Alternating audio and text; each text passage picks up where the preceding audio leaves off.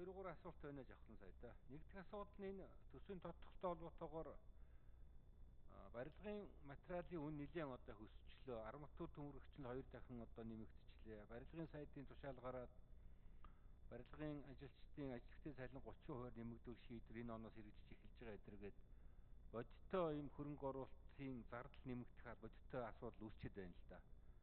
Тэгэхээр одоо хөрөнгө оруулалтын өртгийг одоо бас өөрчлөлт оруулах асуудал энэ удаагийн төсвийн тодтолоор хөндөхгүй мө гэсэн нэг асуулт байна.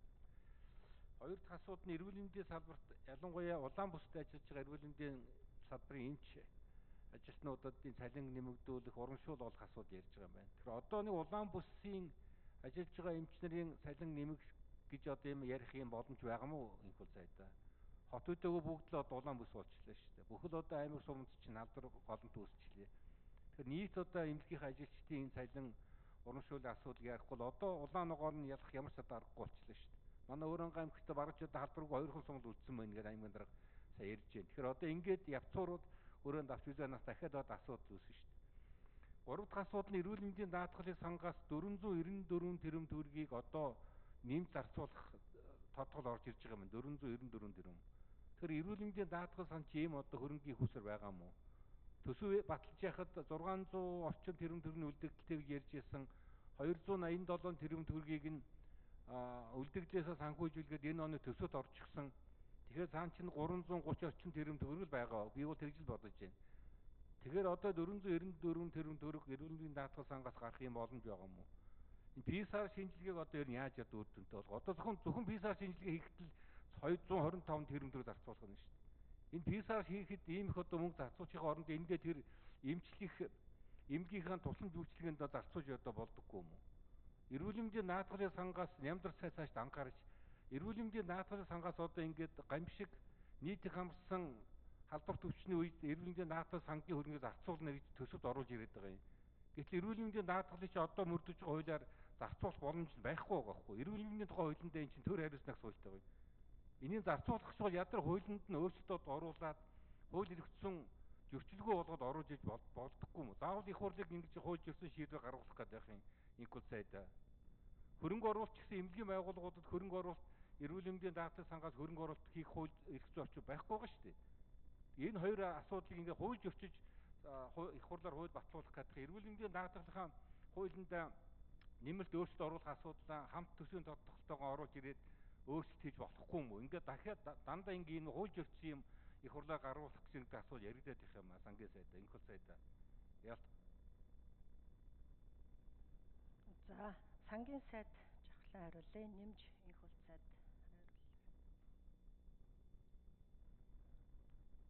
За чин зур гүшүүний асуултанд хариулъя.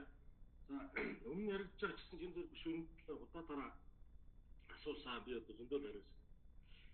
Энэ арматур болон ажилчдын барилгын салбарын ажилчдын цалин 30% нэмэгдүүлсэн гэдэг энэ бол аа үнэ манай бидний бодит төсвийн хуулиар тухайн жилийн гүйцэтгэлийн явцад хөрөнгө оруулалтын шатанд тухайн төслийн одоо нийт хөрөнгө оруулалтын барилгын орц материалд үүний өөрчлөлт орсноор нийт төслөд бидний одоо 30%-аас дээш санхүүжилт нь идэвхээр болвол энэ одоо төсвийн асуудал зөвхөн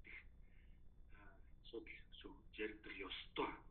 За энэ удаа бол хараахан ийм хэмжээнд хүрээгүй байгаа гэж бодлого батгуулалтын яамнаас үзэж энэ асуудлыг бол оруулж ирээгүй. За энэ талаар бодлого батгуулалтын яамнаас нэмж хариулт өгөөрэй. За эрүүл мэндийн даатгалын сангийн талаар энэ дутуу мэдээлэл очиж бол удаа энэ жилд эрүүл мэндийн даатгалын санд нийтдээ 1.2 их 80 төгрөг хөрөнгөлөх ёстой. За үүнээс 580 тэрбум төгрөгийг улсын төсвөөс татаад хэлбэрээр өгч. За үргэлжлэн нь бол нэгэн эрүүл мэндийн даатгалын шимтгэлээр хөрөнгөлөх ийм хөрөнгө юм шүү. Одоогоор зарцуулалт нь дөнгөж 40 гаруй явж байгаа. Тэгэхээр одоо үлдсэн хугацаанд бол 495 тэрбум тэрбум төгрөгийн одоо зарцуултыг бүрэн боломжтой байгаа шүү. Энэ бол одоо ямар нэг тийм хөрөнгө оруулалт биш. Яг таны хэлж байгааснчлан эрүүл мэндийн даатгалын сангийн болон эрүүл мэндийн хуулийн дагуу тарифын журмаар зарцуулагдах дүнг хэлж байгаа. За баярлалаа.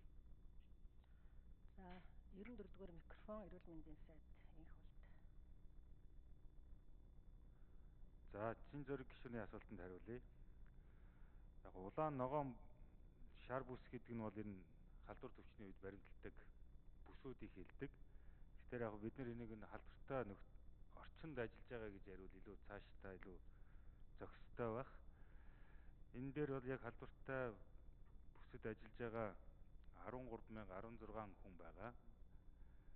За энэ хүмүүс бусд хүмүүс маань үндсэн тусламж үйлчилгээнд дээр ажиллаж байгаа. Бидний тооцоо судалгаануудыг гаргасан улсын хэмжээнд тийм учраас энэ тоог оруулж ирсэн байгаа.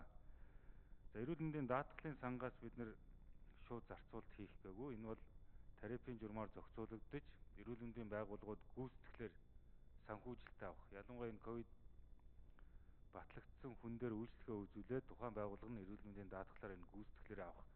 Бид нар энэ тооцооллыг хийгээд энэ жилийн хугацаанд нэг 220 мянган хүн өвчлөл ийм тооцоол гарах юм байна гэдэг энэ төсөөллийг бол оруулж ирсэн байна. Тэгжээж энэ 492 тэрбум төгрөг гарч байгаамаа. За PCR шинжилгээ ч гэсэн мөн адил энэ гүйцэтгэлээр санхүүжээд явна. Энэ гэхдээ тоотал лимиттэй. Одоогийн байдлаар ийм өргөн нийтэд дарахсан, олон нийтэд дарахсан үед бол эмнэлэг зүйн шинж тэмдгийг илүү голчлон барьж явж байгаа.